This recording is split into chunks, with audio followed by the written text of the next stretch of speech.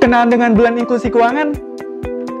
Jadi, Bulan Inklusi Keuangan adalah kegiatan nasional tahunan yang diselenggarakan oleh OJK bersama kementerian atau lembaga dan industri jasa keuangan. Kegiatan ini merupakan salah satu langkah untuk mencapai target inklusi keuangan pemerintah yang mencapai 90% di tahun 2024. Bulan Inklusi Keuangan akan berlangsung dari tanggal 1 hingga 31 Oktober 2022.